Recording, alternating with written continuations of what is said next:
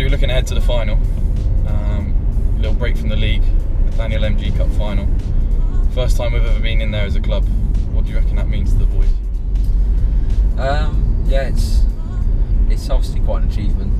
Um, probably more so, almost from the outside. I think us as a group of boys, are, you know, of course we want to get to finals. We want to be successful. We want to win things.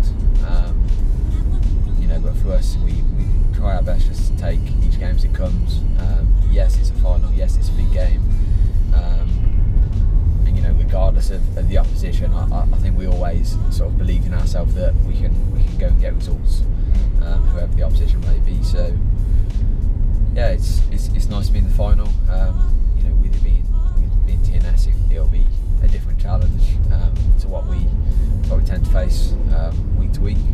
Um, but yeah, the boys will be the boys will be well up for it.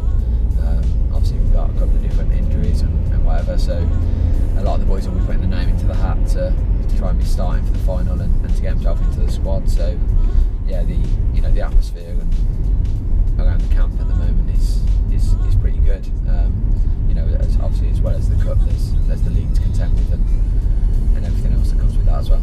So. Yeah, obviously it is a break from the league. How's this, how's it been going this year? How would you summarise our season so far? Um, I, I suppose totally different from last year in terms of how it started. Last year it was very much we started poorly, uh, didn't pick up a win till our seventh game. Whereas this year we we uh, managed to hit the ground running um, a lot quicker. Um, I'd say that's mainly due to you know understanding the league, understanding what's expected, um, what you actually have to do to win games, um, as opposed to just performing well and and you know at times playing good football but not getting results. So I think we've we've definitely sort of changed not the way that we play, but we've we've improved our understanding of the game and and what it takes to actually you know get results in the league. So yeah, so far, like I say, we started very well.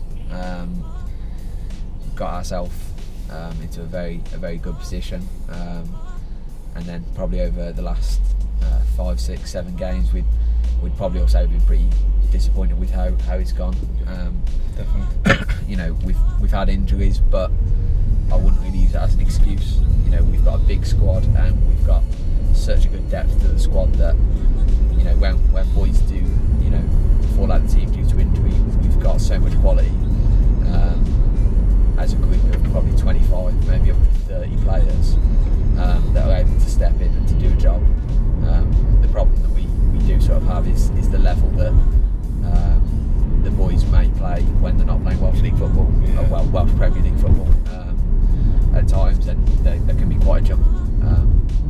Levels, which can be difficult. But um,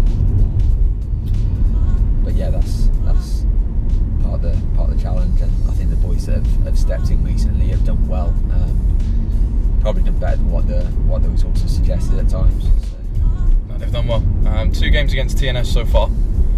See a nil-nil draw at home, nearly nicked it at the end with Evans volley, um, and then a two-one defeat down at their place. Um, what do you reckon they'll be thinking about us going into the fixture? Um, I'm not exactly sure. I think, you know, the vast majority of teams that they play against will put 10, 11 men behind the ball and, and it's there for them to break it down and not saying that we'll be, you know, too far away from, from doing something similar, but I think that I think in the games this season and every time that we've played started to get more of a foothold in the game. It's not just us going there to show up shop um, and try our best just to get a point out of the game. I, I honestly believe that that we're good enough to go into those games, um, and, you know, take take three points from it or or you know win the game. So. Um, yeah, I, I think you know. I think they'll be respectful of us. They, they always sort of have been, um, and you know we, we have to be obviously respectful of them as well. Um, but yeah, I, you know, depending on what team starts, they may may or may not have seen some of the boys sort of play before, so it may be a bit of a different task. Um, so yeah, we'll we'll have to see how they set up. You know, they're they're very good at what they do. You know, they like to try and get the ball down, and I'd say that we're similar in that sense. So hopefully it makes for makes for what could be a good game, and hopefully you know an entertaining one for the neutral and a positive one for ourselves. Yeah, decent place to go as well, uh, Um, decent pitch as well. So hopefully a good game for the cameras. Yeah. What brought you to the club? I mean, we've both been here what six, seven seasons. Yeah. What brought you here originally? Yeah. We're a little bit different. I know people think we're full time or whatever, but we're a little bit different to other places. Yeah. What what brought you to Cardiff, and then what what, what made you want to play for Cardiff Met? Um, you know, first and foremost is it's about the education. You know, I came here to study. I wanted to get a degree.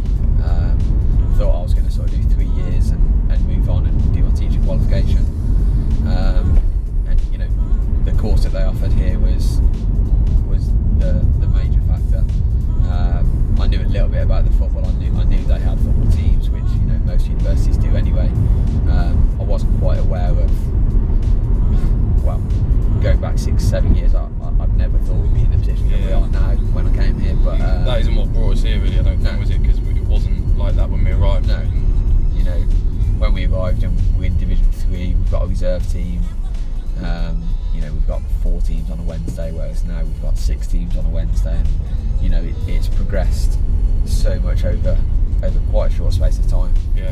um, really. So that wasn't what brought me to Cardiff. You know, I wanted to study here. Um, I'd been here a couple of times before. I, I like the city. Um, so yeah, it, it was more the university that really brought me here. Uh, the football, you know, was was another factor on a personal level that I've always sort of played football, and that's what you know that's what I wanted to do whilst I was studying. But um, yeah, that, that wasn't the reason for me for me coming here. And you say obviously it's progressed so much. Any, for anyone that doesn't really know, what's happened over these last six seasons? Yeah, so like I say, when I arrived, we were Welsh Division Three.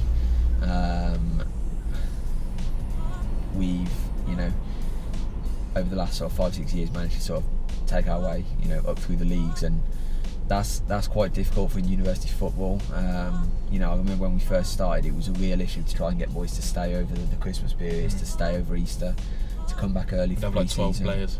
yeah, we, yeah, you know, you'd have you'd have coaches on the bench, and you know, you'd be scraping to get a team together. Um, you know, university term time generally starts towards the end of September. Um, you know, this this summer and you know for the last couple of summers we, we've been in from the start of July, so it is a it's a big commitment. Um, for a lot of the boys, um, to, you know, to come back and, and to do that. So yeah, like I say, we we're in Division Three. Um, managed to, um, you know, get promotion to uh, the second division, go straight up to from the second division to the first division the following season, um, and then we spent two years, um, two years in, in Welsh Division One. So uh, the first season in there, we, we missed out on Welsh, well, missed out on promotion by by a goal on goal difference, which was hard to take. Um, but you know that's that's something that we always spoke about, and you know that's something that helped to drive us forward again as a club. You know the disappointment of being so close, yet you know having another season in, in Welsh Division One, um, and then yeah, you know for the last two seasons now, or well, last eighteen months, we've we've been a Welsh Premier League side. Um, Was that the biggest step up through the divisions? Do you think from from Welsh League Div One Yeah. to the Prem? yeah, definitely. You know, um, with no disrespect to the other leagues, um, you know they're, they're quite they're quite similar. You know, um, each year you go up the leagues. You know, you, you come against better players. You come against teams that are, you know maybe better organised, maybe a fitter group.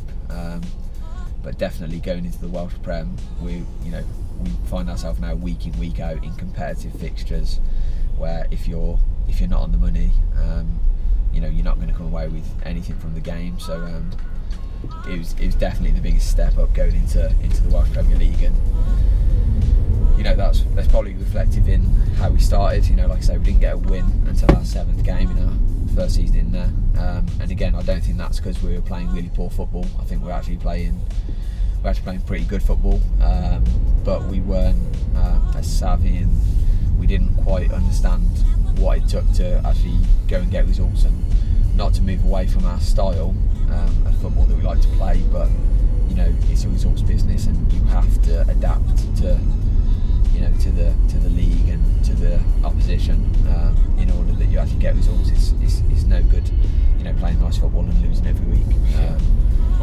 yeah, and that's that's how we sort of we uh, well that's the position we found ourselves in early on in the Welsh Premier League. But I think we've been able to adapt and yeah, we've been able to sort of understand the league a bit better and um, yeah, it's you know we've got ambitions and aspirations, you know, to keep striving forwards. Um, but generally, so far, I'd, I'd say we've, we've done fairly well and we've equipped ourselves fairly well in the league. Um, I'd like to think we're a good addition to the league, but you know, I think we bring something a bit different. Yeah. I'm not, it's not liked by all. no. Um, but I think we bring something different.